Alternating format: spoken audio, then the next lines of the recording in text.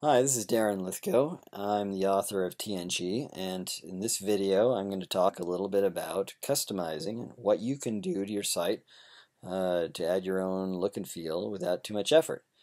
So the most obvious thing you can do is to choose a template.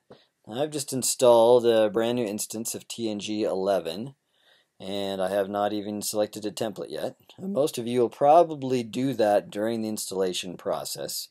But if you've changed your mind, you want to pick a different one, or if you haven't done that for some reason, and you can come into Setup, and then Template Settings, and at any time choose a new template. Now, if you forgot what they look like, click on Show Previews, and here is a nice a little preview of uh, basically what each one looks like. And it's easy to choose one and then change your mind and choose another one later.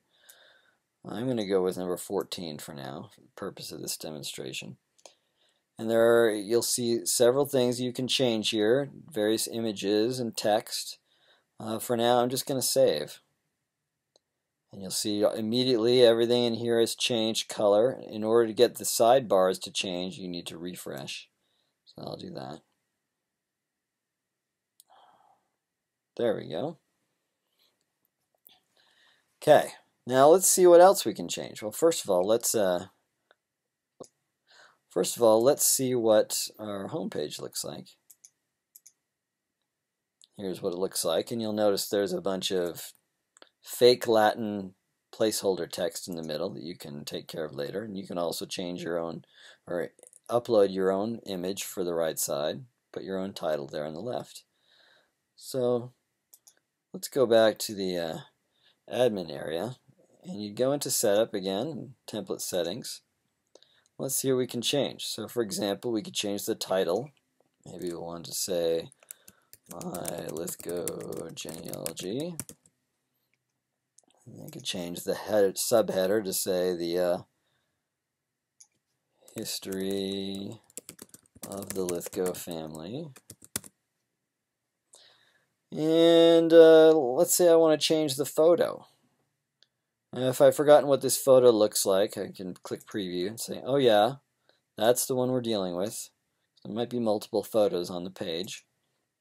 And over here on the right, you'll notice it mentions how large this photo is. It's 260 pixels wide and 480 pixels high.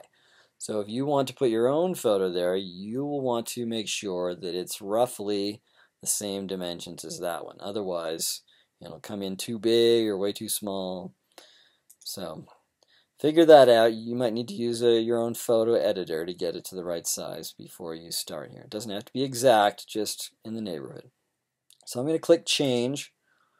And over here is a button I can use to pick a file from my computer, or here's one I can use to select from the images already on the site. And just so happens I was playing with this earlier. So I uploaded one that I'm going to use. I just click Select and there now the new file name is in the field. I might want to choose a caption like uh, um, uh, LC and heavy circa 1950. Alright. And then down here you'll notice uh, the welcome paragraph. Uh, this, is a bunch of uh, fake Latin text. I'm going to expand the box a little bit so you can see more. And I want you to also notice that it, at the beginning and the end are some HTML paragraph tags. So every time you want to make a new paragraph, you should surround the text with those paragraph tags. So let's replace what's in here. I could say this is my first paragraph. Now let's say I wanted multiple paragraphs, maybe two or three. I could copy, copy. You know, in HTML doesn't have to be on a new line if you don't want to. The paragraph tags are what really defines it. So I'll change this to say this is my second paragraph. And this is my third. Alright, let's save that and see what we've got now. So over here, I'm going to refresh the home page. Aha! You see the new heading and the new subheading the new image on the right and the new uh, caption under the photo. Also here are my three paragraphs. So excellent. Let's go back. There's one other thing I want to mention here, and that is the his side, her side labels. If you forgot what those are, like on the home page, they're up here. And those point to pedigree charts, but when you first install your site, they're not really pointing to anything. In order to make it point to something, you have to come here and configure it by entering the ID and, and the uh, uh, tree, tree ID of the people that you want it to point to. So suppose you know you want it to point to your father and he's ID 345 and you want the mom side to point to your mother and she's ID 678. And if you've forgotten, go back over to people and find them and find their IDs. If you've forgotten what the tree ID is, come over to trees and it'll say what the ID is there. So it might be something like tree 1. But in order for those links to point to anything, you need to configure these first. Okay, and then again, save it. When you're doing, oh, I should also mention you change the labels. So if you want this to be the with Lythgoe side and this to be the Sorensen side, you can do that as well. Okay. I'll just do one more refresh to show you. Those are now updated up there. Okay, now there are a couple other things that go a little bit beyond the template settings that I want to mention. The first is text messages. So you see there are some messages on here that are not configurable from the template settings like other features. Uh, so in order to change something like that, there are a few, a few extra hoops you need to jump through. Let's talk about it. If I come back to my, uh, this is FileZilla by the way. I've talked about this in other videos, but this is an FTP program. It's a way I use to connect to my website, and once I'm connected, then I can see the files that are on my site over here on the right. Over on the left are the files on my computer. So first I need to find that uh, text message that I want to change. And in order to, to find this one, I first need to drill into the templates folder. I'm using template 14, so I'm going to go in there. And here's the home page, it's index.php. Let's open it in an editor. So I right clicked on the file, and it'll just open in a local uh, editor here. And if I scroll down, look hard enough, I'll be able to find it. It's right here. Now you're saying that's not really intuitive. I expected to see the word other features. But what's happening is that we've replaced all the actual text with PHP variables, and this allows us to be able to translate it into whichever language uh, you've selected. So now instead of seeing other features, you see this uh, text variable. So the first step is to copy that. Highlight and copy. I can do like this. Copy. Close that file because you're not going to need to edit that. And then I'm going to back up. Let's go back here.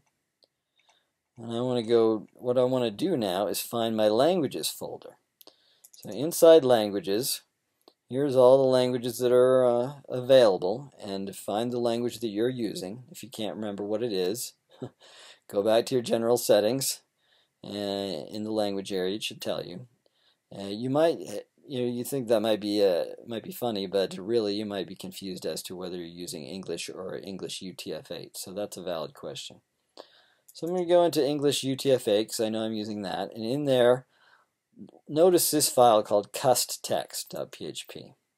This is where any kind of custom messages would go. So I'm going to right click on that and edit. And here you'll see there's an example, uh, actually something I did earlier with this very same uh, message, but uh, if you have a new one, you come in here and you paste it right there. Well, let's get rid of the uh, echo portion. Let's uh, forget what I had done previously. okay, so here I pasted the new text message in, and just like the example above, I'm going to say equal and my uh, cool new features. Close it with a quote and end it with a semicolon. And then save what you've done. Yes. Okay, now once you've saved that, come back over to your home page and refresh it. You'll notice your new message down there. Now, if you want this to be uh, visible whenever the site is viewed in a different language, you are going to have to make a similar change in the cust text file for each language you're supporting. So, for example, if you're also using Dutch, you want to edit the cust text file in the Dutch folder. Uh, let's see. And enter the same thing here, but now put the Dutch translation. And then if someone changes to Dutch, they'll see the message in Dutch. Okay. All right. So another thing I want to talk about is the colors and fonts. Now you might say, well, I like this design, but I really wish the colors were more of a blue tone uh, instead of uh, the red that it is now. So that involves changing what's called uh, the CSS, or Cascading Style Sheets. Um, you really don't have to know too much about that, but uh, in order to see what's going on, I recommend you right-click on the text or element that you want to change. Now in Google Chrome, when you right-click on something, you should always get a menu with one of the options being Inspect. So if you click on Inspect, uh, you'll get something opening on the right or down below. And you'll see all the HTML elements on the page here. And down here you'll see all the CSS or style that is governing that particular element. And you can see I have the color uh, is set to a very reddish color. And you can experiment here without actually changing anything. Like for instance uncheck that box you'll notice the color went away. It's now the default black. I'm going to put that back and I'm going to, let's say, we can make it a little more red by increasing the red component. Ooh. Or maybe I want to increase the blue component. That's kind of purple. Let's uh, increase both, the, or decrease both the, uh, the red and increase the green a little bit. See, that's what you get. So you can uh, just experiment until you find a color that you want. Same thing with font. You know, what if I take off that font? I'm back to default font. And you'll notice right here, up above, it tells you the exact location in your style sheet of where this block is. So I'm changing the big header block. That's the class name associated with this header. And it's in template style.css at line 712. So let's go back to FileZilla and see if we can find that. So I'm in languages right now, so let's go back into templates, into template 14, and from there into the CSS folder. And now I'm looking at template style.css, so let's edit that. If you have a better editor besides this one, you might have uh, line numbers to easily help you find line 712. Now I don't, but I remember it was big header, so I'm going to do a search, and here it is. And here was the original color, the original font. Now suppose I want to change that. I'm not going to change it here because an upgrade that you install later might overwrite this. So what I recommend is you copy this entire block and close this file. And then look for the file called mytngstyle.css in the same folder. Let's edit that instead. Now here you can see you can see some instructions near the top, uh, just telling you to, to uh, paste this in here, and you can see I've already you know, played with this before and pasted something in there. Let's get rid of that. Paste our own new block in. Okay, so here's the block. Now you really don't need anything that you're not going to change. So if all you're changing is the color, you can get rid of the rest of this. Just worry about the color. Now here, let's say I want it to be more bluish. The last two numbers are the blue. First two are the red, second are the green. So I'll get rid of the red and the green and just put um, some blue in there. Let's save this file.